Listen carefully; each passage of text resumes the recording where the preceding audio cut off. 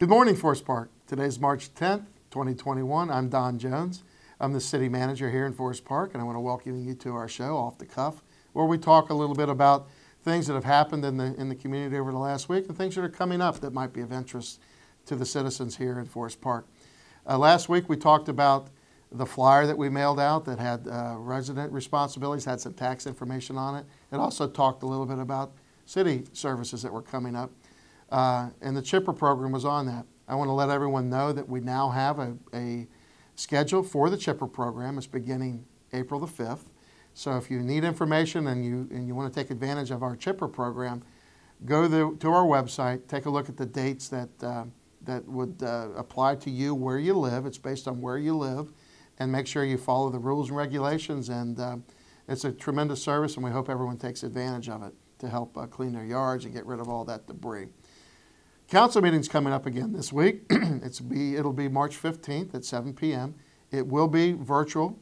Uh, we are still virtual here in the city of uh, Forest Park. So uh, we encourage you to watch live on Waycross Media. They, you can watch it on cable TV or you can watch it online. It streams on both. On the agenda for that meeting, it's relatively light again. Uh, we have a business of the month that we're going to announce. It'll be Tri City Cleaners down on Northland Boulevard. We're also, um, one of our council members, Chelsea Clark, will be presenting an award to a local business for uh, Black History Month. Um, and we'll have more information on that as well. We're also going to be approving a contract for our police dispatchers. We've finally settled with them, and, and we'll be uh, bringing that to City Council for their approval and review. Also, one of the things I want to call to your attention as well, at that meeting we'll be appointing a new member to our Civil Service Commission. But I want to bring that to your attention because uh, volunteer opportunities are available for everyone, and I want to encourage anyone that has an interest in helping the city, being active in the community, and uh, providing whatever types of uh, services you, you, and skills that you have and you want to bring them and help the city out as a volunteer.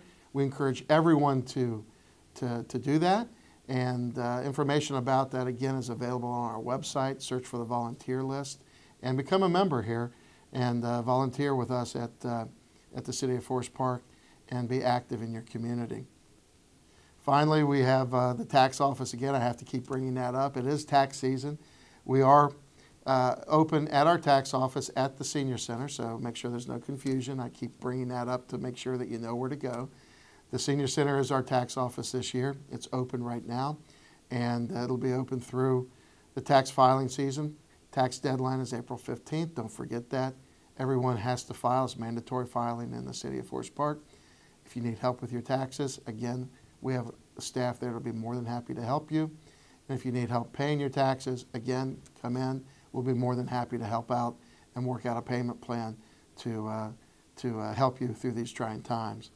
And finally, again, we talk about the vaccine all the time. We, we, we are having another vaccine uh, here at the City of Forest Park. It is run by the Hamilton County Public Health Department, and it's going to be again at the Word of Deliverance Church on Fresno Avenue. So we want to thank them for continuing their efforts to donate uh, the space and to have that space available for the community. And we want to make sure that everyone knows that they recently have lowered the, the age limit to, to 50 and added other uh, types of uh, folks, whether it's the health conditions or whether it's the job that you do. Uh, there's many other conditions. So many more folks are eligible. And if you've been waiting, now's the opportunity to go out and um, schedule an opportunity, schedule your, tac, your uh, vaccine, and uh, get a shot, and keep everyone, uh, everyone around you safe and keep yourself safe. Do everything you can, again, to protect yourself, stay safe, follow the CDC guidelines, and uh, we'll be talking to you next week.